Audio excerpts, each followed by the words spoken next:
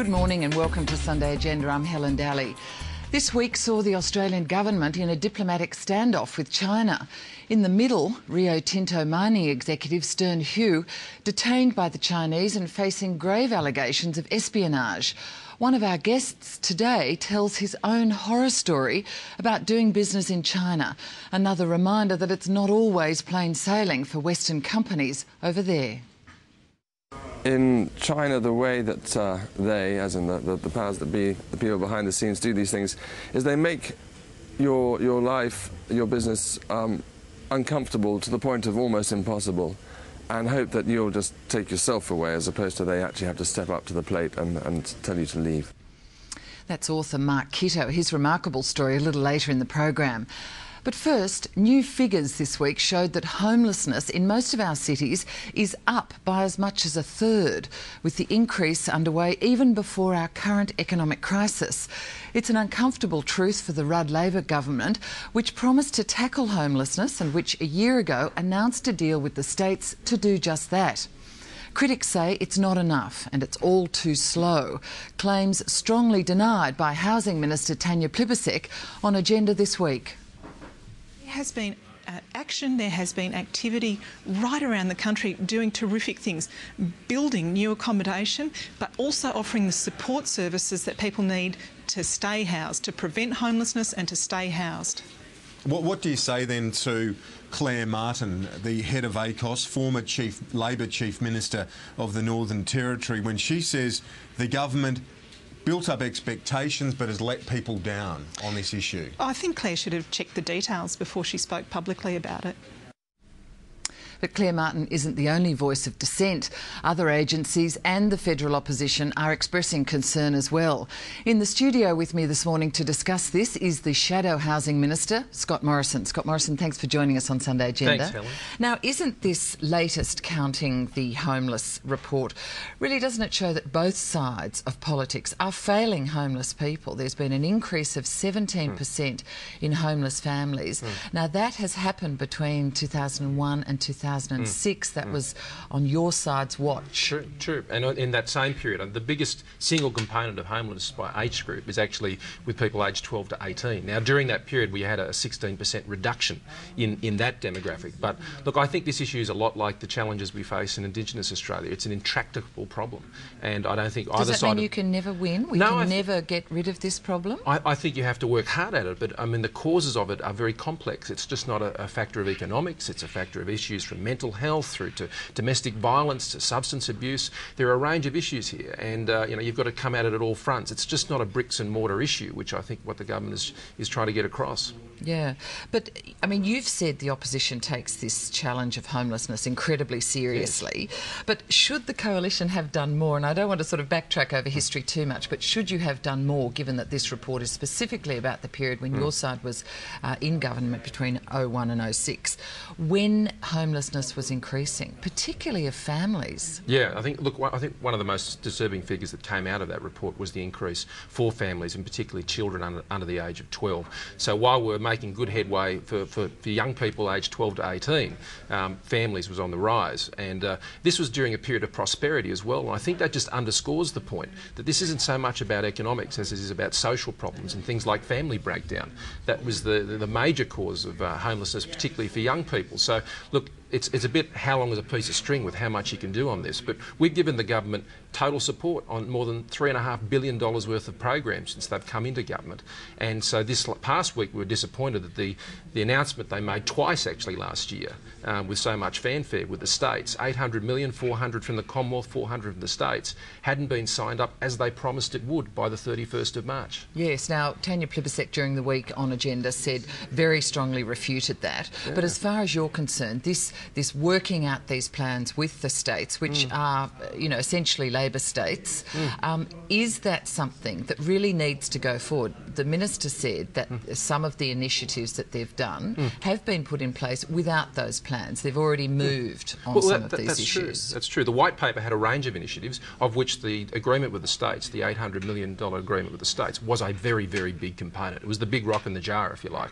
Um, but what the states haven't been able to do is come to the table, and the federal minister hasn't been able to bring all the states to the table, particularly New South Wales, which accounts for one quarter of homeless people around the country. Do you think that's a big failing on the I- federal I- government's part? I do, particularly as they, they were so quick to say we need swift and decisive action on this. well, it was a big election platform. It was a massive it? election platform, and I think what we're seeing across a raft of issues now, whether it's school halls or this, is the big announcement comes and the follow through doesn't come. Now, the minister said on, on, on Sky Agenda uh, earlier in the week, last week, that uh, you know this wasn't the agreement, but the agreement makes it crystal clear. She said.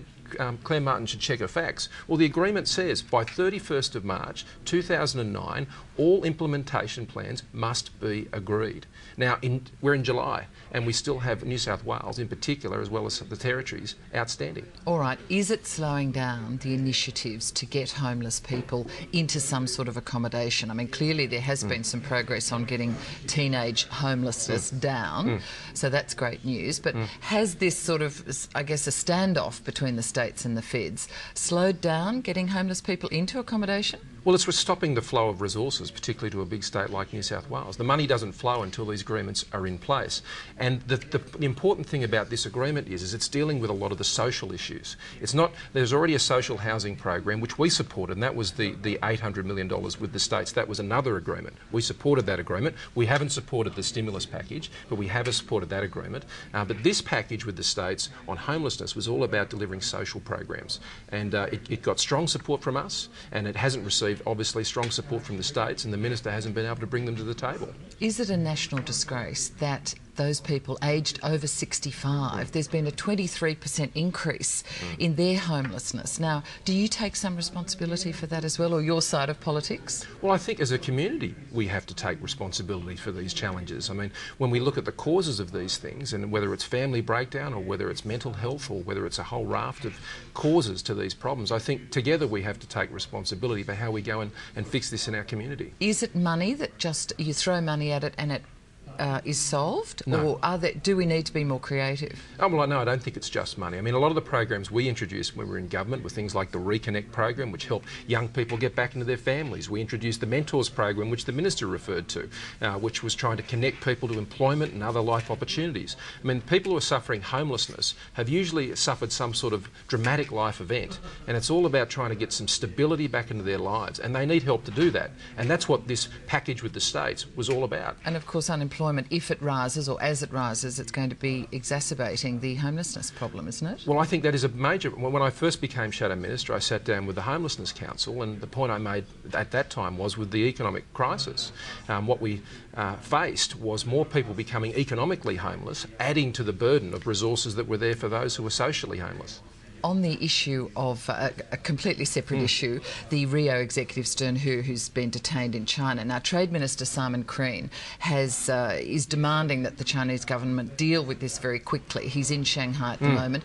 They he is also saying that um, you know they have to produce the evidence. Now, you've been your side's been calling for the government to do a lot more.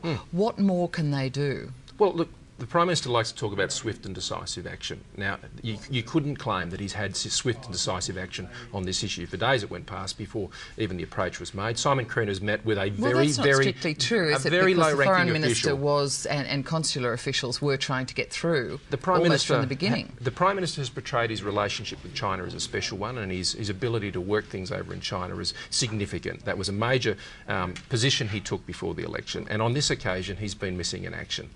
So you think he personally should still step in? Oh, look, if it was if it was one, a family member of mine, a constituent member of mine, I, I would be on his uh, on his phone every day, uh, trying to get the prime minister to use the the relationships he has, which he says he has, for the benefit of an Australian citizen. Now that's his job. All right, perhaps more generally, is this episode going to damage uh, the way Australia does business? Will it change the way Australian businesses have to look at the potential risks of doing business in China?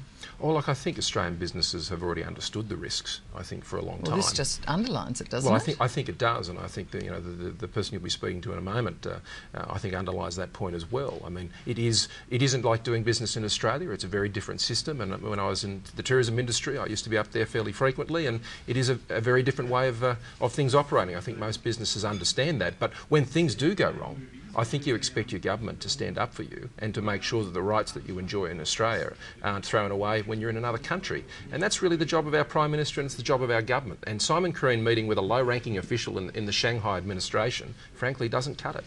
No, but in terms of the way business will have to operate, they Mm. will they might have to change their modus operandi.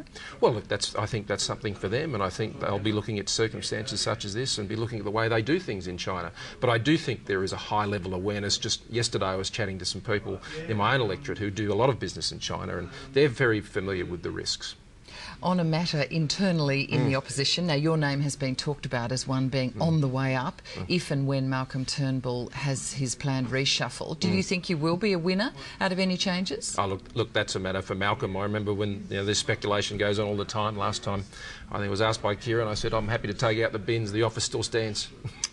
I'm not sure that that's true. You're being far too humble. But do you expect to do well out of any changes? Look, these are matters for the leader. Um, and, uh, you know, Malcolm Turnbull has our full support. I think he's doing a great job and wish him well. All right, Scott Morrison, we appreciate your time this morning. Thank you. Thanks, Helen. And you're watching Sunday Agenda. Our next guest is author Mark Kitto, and we're talking to him after this short break.